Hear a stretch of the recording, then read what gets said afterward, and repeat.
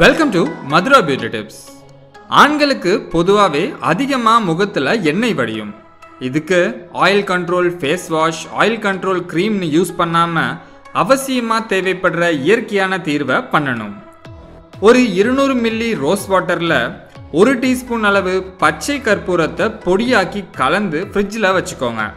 பச்சை கற்பூரம் நம்ம சாமி கும்பிட்றதுக்கு பயன்படுத்துகிற கற்பூரம் கிடையாது.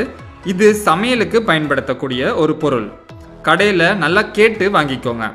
இந்த மிக்ஸை முகத்தில் தடவி வந்தீங்கன்னா எண்ணெய் வடியும் சருமம் விரைவில் மறைஞ்சிடும். மற்றும் முகப்பொரு கரும்புள்ளிகள் முகப்பொருனால வர குழி எல்லாமே மறைஞ்சி முகம் நல்ல ஃப்ரெஷ்ஷாக கிளியராக இருக்கும்.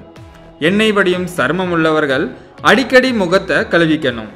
எண்ணெய் முகத்தில் அதிகமாக சேர்ந்தா கண்டிப்பாக முகப்பொரு உண்டாகும். அதனால முகத்தை அடிக்கடி கழுவி ஃப்ரெஷ்ஷாக வச்சுக்கோங்க. நீங்கள் இன்னும் மதுரா பியூட்டி டிப்ஸ் சேனலை சப்ஸ்கிரைப் பண்ணலைன்னா நிறைய பியூட்டி டிப்ஸை உடனே தெரிஞ்சுக்க சப்ஸ்கிரைப் பண்ணிக்கோங்க.